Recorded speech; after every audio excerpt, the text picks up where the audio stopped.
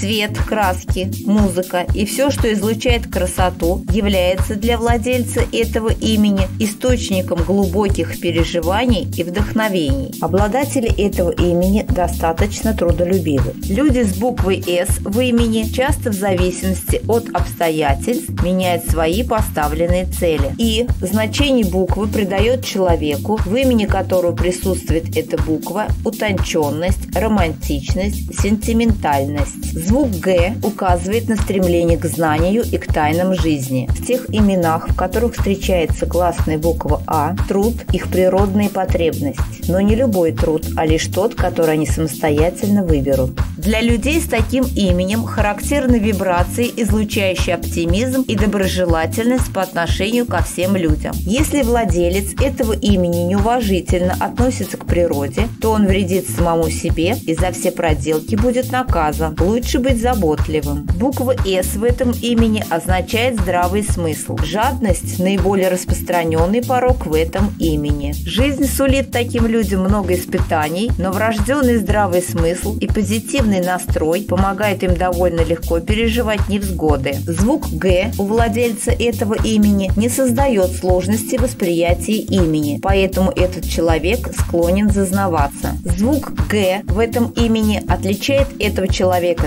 такой чертой, как брезгливость и любовь ко всему чистому. Это может проявляться, например, как неприятие находиться в неубранной комнате или нежелание слушать непрофессионального певца или брезгливость в еде. Эти люди обладают проницательностью и живым умом. И еще он обладает прекрасным чувством гармонии. Как правило, обладатели этого имени всегда стремятся быть в центре внимания, всегда приветливые, дружелюбные. Однако в работе проявляет незаурядный ум и способны достичь больших успехов. Иногда носители этого имени упрямы, заботливы и в то же время застенчивы. Буквенное значение имени во главе с буквой А означает силу духа и стремление к успеху во всех сферах жизни. Дорогой друг, поставь лайк под видео и подпишись на канал. Мы зависим от твоей помощи.